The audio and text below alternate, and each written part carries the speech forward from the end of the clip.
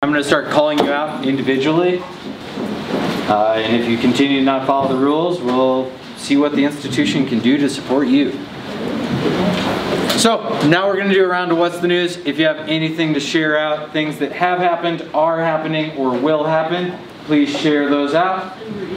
You can raise a hand and we'll call on you. Corbin, what do you got? White Top is happening tomorrow and the next day. WY-TOPP is happening tomorrow and the next day, uh, and uh, these things are getting uh, more and more important the older you get, the further along in the educational system you go, uh, the more you're going to want your assessment to be representative of what you can do. Because folks are going to start using that data to help you be in groups of folks that are like you so you can access the education you need. Other stuff out there in the news that you want to share out? What do you got, Bones? Um, my significant other's birthday's coming up soon. Sigo's birthday's coming up. Lyric, what do you got?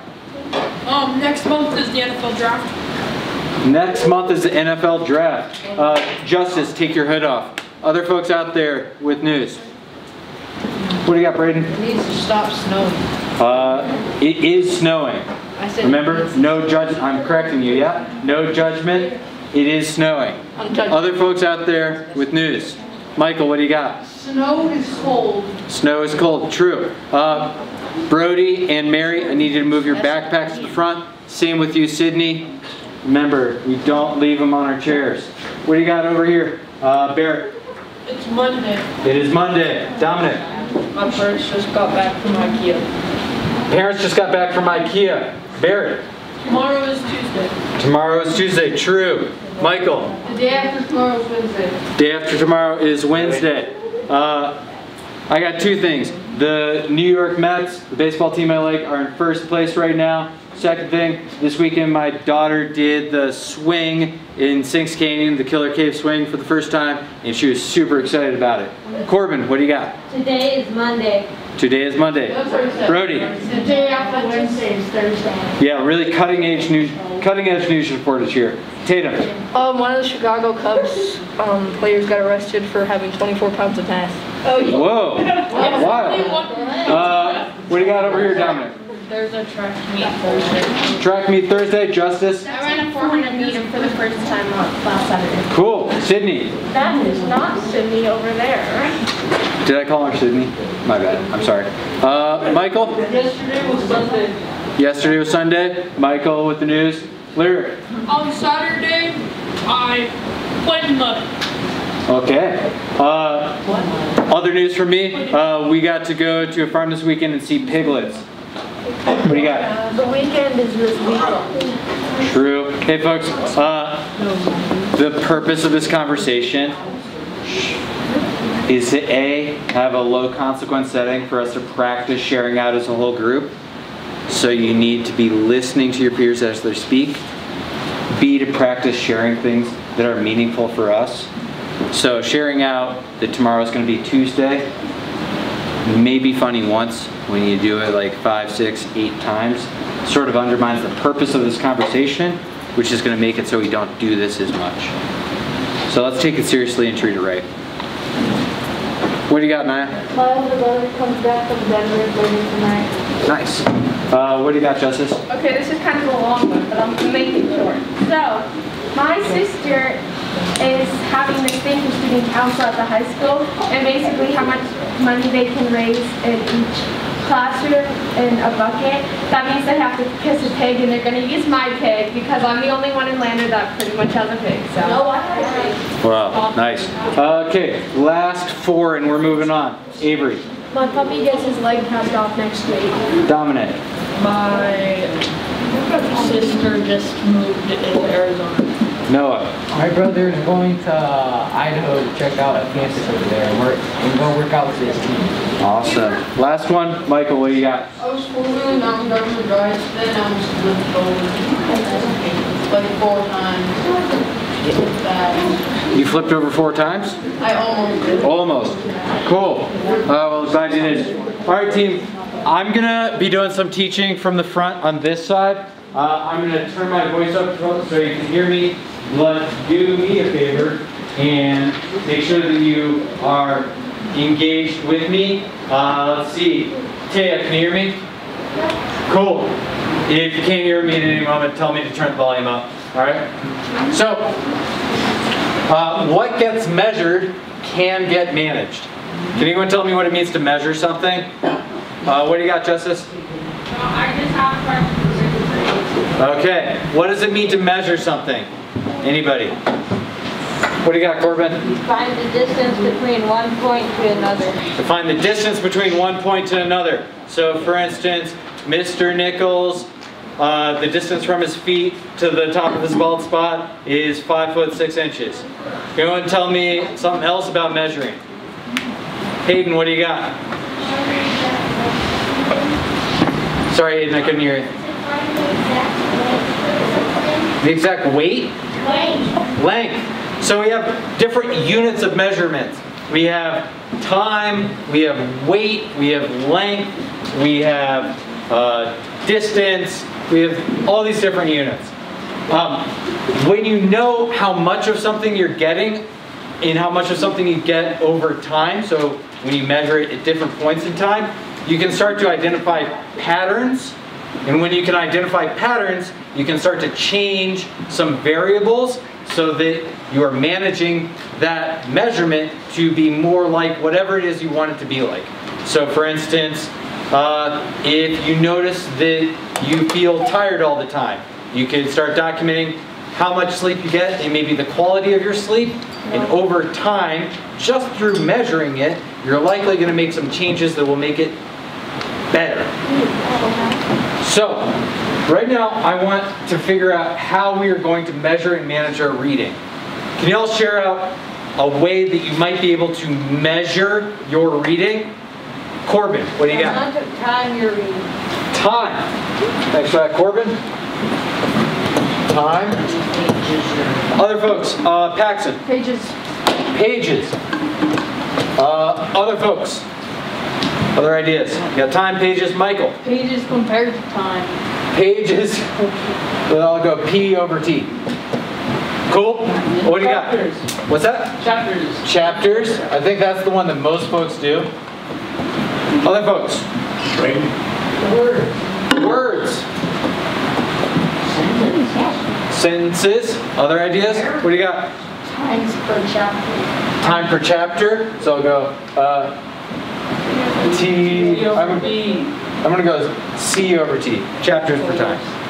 Uh, anybody else? Uh, one that I like, I'm gonna abbreviate as PD, uh, which is perceived difficulty. So if I think something is hard, easy, or somewhere in between, I could be measuring that. Did was reading today hard because I was distracted the whole time? Was reading today easy because I really wanted to see if the character caught fire when the dragon breathed on them? And that's exciting. Sweet. So here's what we're going to do right now. With your partner, you are going to discuss what strategy you are going to use to measure your reading going forward. It doesn't matter to me how you measure it. What matters to me is that you are going to measure it. And right now you're going to discuss a way that you want to do that. Are there any questions about what we're about to do? Or what questions are there? Cool. Madeline, can you tell me what we're about to do? Cool. That tells me that maybe I need to say it again. So I'm going to try. Lyric, can you still hear me? Lyric, can you hear me? Okay, sweet. I need everybody to listen to me because I'm going to get the expectations out there. And if you can't hear me, I need you to tell me. Justice, what's up? Can you raise your voice like a lot higher? A lot higher. Cool. I'm going to do that and I'm going to actually move to the middle of the room because that increases the likelihood that folks will hear me. So, here's what's going to happen. Going forward in this class, you are going to measure your reading in some way. It does not matter to me how you do that. What matters to me is that you do that. In about a week, Mr. Green and I are going to conference with you about your reading. When we do, we're going to say, hey, Ryder, how are you measuring your reading? And Ryder's gonna say, I've been keeping track of how many chapters I read a week. See, look at my log. And we're gonna say, that is awesome, Ryder, strong work. Right now, you are gonna discuss with your partner how you are gonna measure your reading. So you're gonna use one of those things that we wrote down or something else. You're gonna talk about how you're gonna measure it, and then we're gonna come back together as a group. What questions are out there about what we're about to do? All right, go.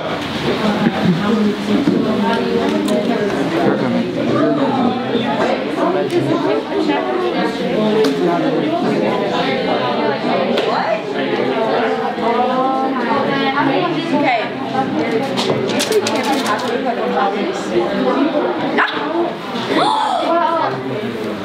Dude, you just got that on camera. It's not like it depends, I like. Can you delete that last? Uh, let's do. Okay. Look, okay. pages of chapters. No, two pages. Anyways, guys. Because it's only like, Because what happens if chapters are long? You only read one chapter a week. one chapter a week. Let's just pages. Oh, woods. Should, or should we do time? Let's do time. Who has a watch that'll be like, okay, I have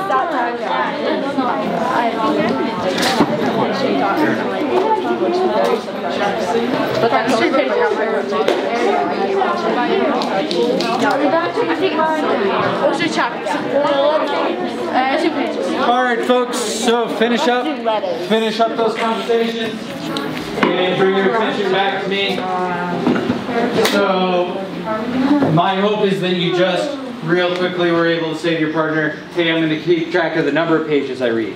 Hey, I'm going to keep track of the number of chapters I read." Or I'm going to keep track of whether it's hard, easy, or somewhere in between for me each time I sit down to read.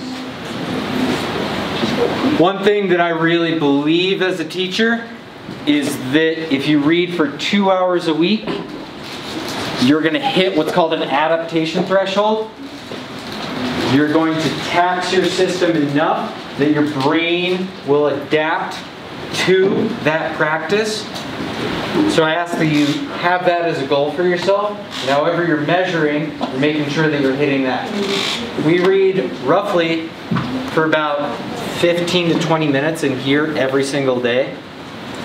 So someone else who's better at doing math than me right now can figure out whatever that is. But you need to read more than that outside of class.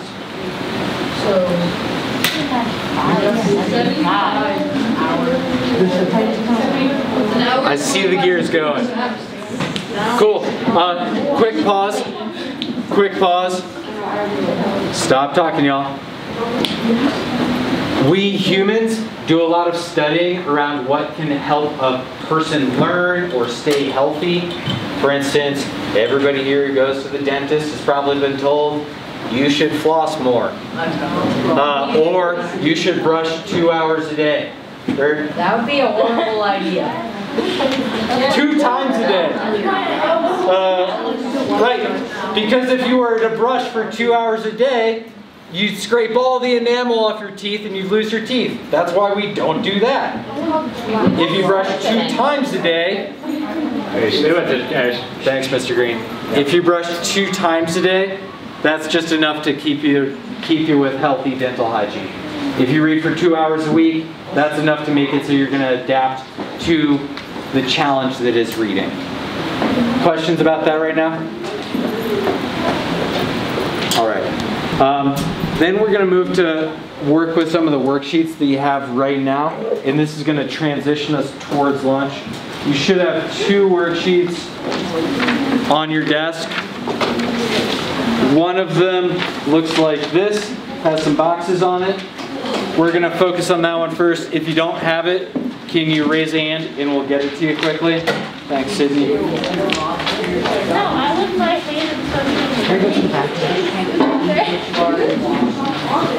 All right. So bring your attention back to me if you would. We're a little squirrely right now, and I would appreciate your attention. So I'm gonna start calling you out by name if you're talking while I'm talking. So, so far this year, we've already gone over first person, second person, and third person. This sheet with the boxes on it is largely going to be a review for us. If you need it to help you out, please refer to it. Can I throw something in there? That first story we read last week on hoops, right?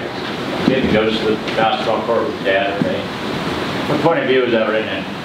Second. Who's second? Well, second, because the reader was addressing you, saying you are going to do this, you are going to do that. Is that, do you see very many second-person point of view short stories? No. No, that's a very rare one, but that was second person. Thank you for picking that out.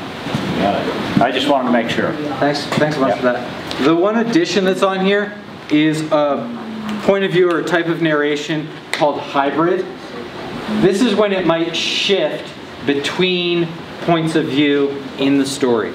So for instance, you might have one chapter where the narrator uh, is using the third person, saying, he went to the park and he ate a donut.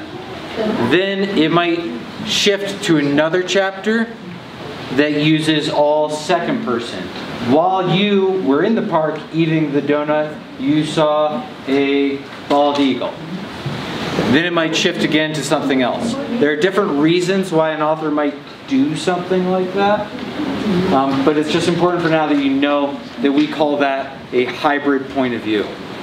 Up next is where we're going to go a little bit deeper with point of view than we've been so far.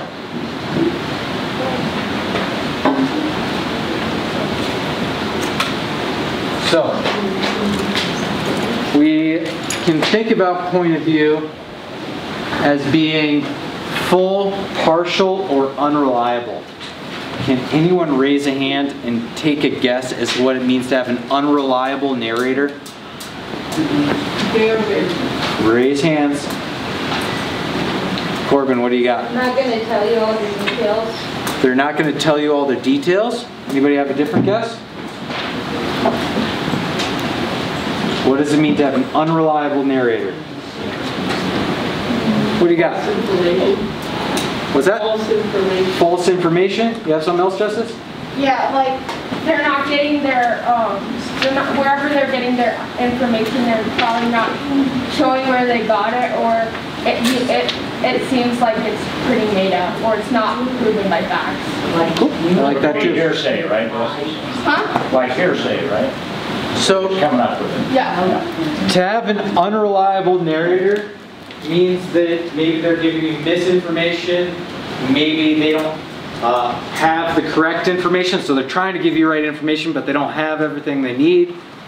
Um, or it means that maybe they are not super intelligent, or maybe there's something uh, going on with their brain that is uh, making it so they can't be trusted. For instance, if you had a story told from the perspective of a three year old, would they be a reliable narrator and unreliable narrator? Reliable. Depends on the three year old, right? Cool. Can anyone take a guess as to what it means to have a partial narrator? Or partial point of view? What do you got, Braden?